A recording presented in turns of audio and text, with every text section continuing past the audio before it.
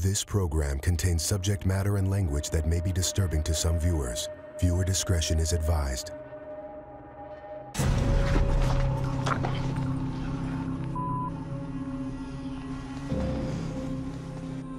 My name is Jordan. I'm 34. I would definitely consider myself an alcoholic. I don't feel well. What do you want? I need some alcohol. Right now. You already have some this morning? Yesterday. You can drink up to 750 milliliter of vodka in a single sitting. You alright? He has to be helped to do normal daily tasks, and he really can't help anyone right now because he can't even take care of himself. Hi, baby. It's Careful.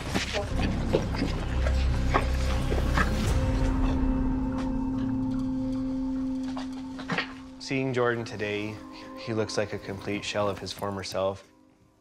Jordan had a very accomplished career starting with his military service. He's an accomplished veteran who served our country. After that, he went into the nursing community. He was a beloved ICU nurse. He fought on the front lines of COVID. Jordan, Yeah. what are you doing? I'm fine. No, you're not fine. There you go. Jordan's drinking has caused a lot of heartache and a lot of stress on every member of our family. What'd you drink? I'm fine. Jordan, I don't want to lose you, okay? Yes, ma'am. All right, darling. The alcohol addiction has gotten so out of control with Jordan that I am afraid he's going to die. This intervention, it is his life or his death.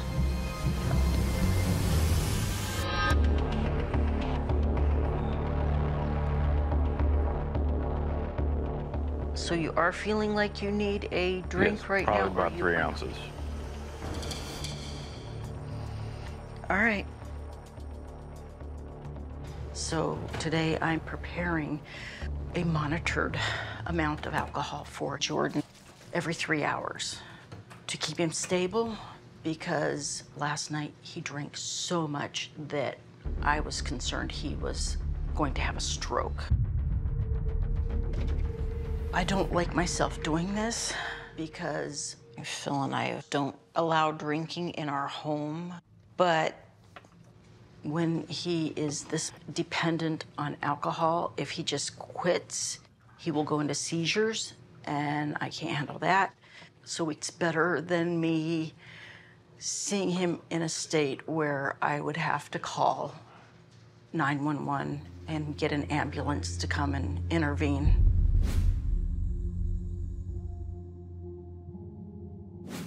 Tell me a little bit what's been going on and Very happy that we're able to do this and hopefully get Jordan the help that he needs. a lot of people they get addicted because of some form of trauma. So I wanted to find out what your childhood was like. What was it like for him? My parents, you know, raised us the best they could. We never, in childhood, like really wanted for anything. We would go on vacations together as a family. We went to church every Sunday together as a family. We would all sit down together and have dinner as a family. So what was going on at 18? And that's when he joined the Army.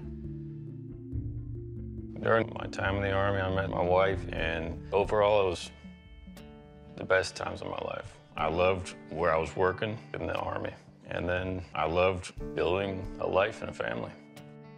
I have two daughters, aged 12 and 6 right now. I was 100% involved at any second that I could be. I changed diapers, I take them to school, fishing, everything you could do outdoors. I was excited to be a dad. Trauma is experiences that build up. So did he ever talk to you guys about how it was working in ICU during COVID?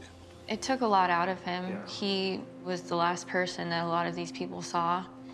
And I just remember him saying that, you know, the amount of death that he was around was really hard for him. I think it was very shocking for Jordan to see that he was losing so many patients to COVID 19. And I remember that's when Jordan's drinking went from casual drinks to drinking on a day to day basis. And it just seems like it's progressively gotten worse. He was telling me that like he would stop off and get three bottles of wine and drink those on his way home just so he could go to sleep. That was his everyday routine. That was a period of time when it was very hopeless for him. I saw the relationship between him and his wife deteriorate. And how long did he work in ICU? Up until nine months ago. Jordan had gone to work, just got to work, and his wife called him while he was there on the floor and told him that she wanted a divorce. She just unloaded on him saying, you're never home, you know, you're drunk a lot, and uh, all the distress that created caused something to happen to him that particular night. Can you go over that for me? What happened that night at work? I can't really say that on camera, man. That's really what made him hit rock bottom.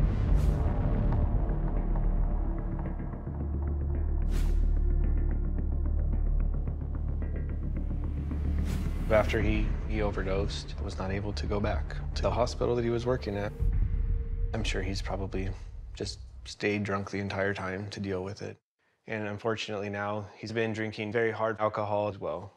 Drinks half a bottle of vodka. That's just that's his, That's his life right now? Just- since since our brother died, our middle brother, Aaron. No way. So sorry. What happened? Um,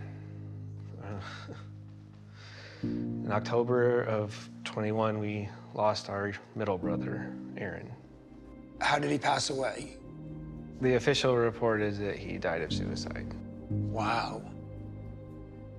How old was he? 31. 31. 31? Oh my God. So sorry. If he doesn't get help, we will be burying another brother, and my parents will be burying another child, and then we'll probably be burying a mom right after that. Wow. How are you feeling, Jordan? I'm feeling okay right now at the moment. I'm not highly intoxicated by any means. And they just pulled up outside. Thank you. Fingers crossed. Oh my gosh.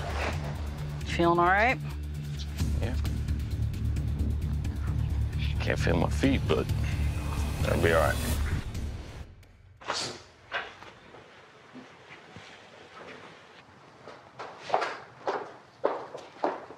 Hi, Jordan. How you doing? I'm Ken. Nice to meet you. Too. Jordan, Jordan? when did you get here? A couple days ago. So I had the opportunity of sitting down with your family and planning an intervention for you. They just put together some thoughts and they just wrote them down if it's okay, if they could share them. Hopefully, a great opportunity for you. But that's all up to you. I'm willing to listen, yeah. Derek, you want to go? Jordan, I'm here today because at one point in time, you were my best friend. Some of the best memories in my life were made with you.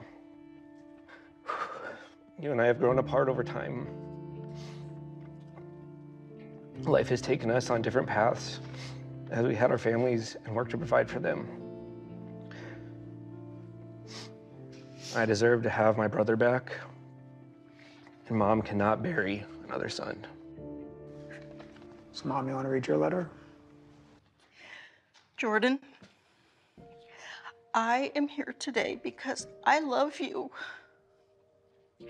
I remember your childhood, and it makes me smile. And then you became a father, an absolutely great dad. Sadly, ever since the alcohol has taken you over, it has compromised your relationships with your precious girls. It has stalled your nursing career and caused so much stress and worry on Dad and I. Every day, I fear that I'm going to go check on you and that you'll be dead. Jordan, I don't want to live this way anymore. Now you need to be here for yourself, too. They're all here because they love you. And they're all worried about you because they already lost one sibling. They can't lose you. And they won't. We found a treatment center in Texas, Warrior's Heart, and it's for vets and first responders. And one of the common things that I heard is that therapy doesn't work for you. Typically, yeah, because when people ask me, how you feeling? I can't really tell you. Mm-hmm. Like, I don't have feelings. I mean, everybody flew in here for this. So your sister came all the way from Italy. You want to answer her question? Situation. If you are willing to go to Warrior's Heart right now,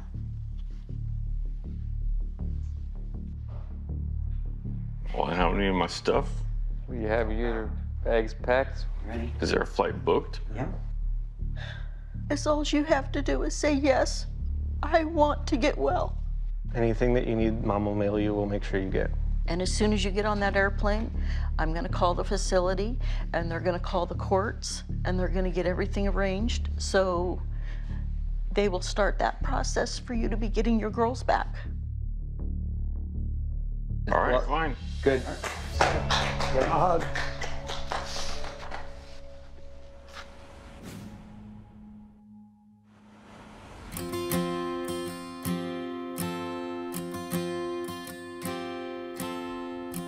Feels great to be sober right now. Physically feeling great. Mentally, a lot of the clarity is coming back. So, uh, so we have a lot of different coping strategies, group therapy sessions, process groups, and then you have one-on-one sessions with your individual therapist.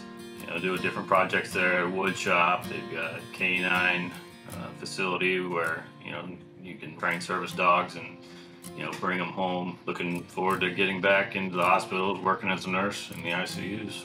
Be with my kids. We FaceTime every day.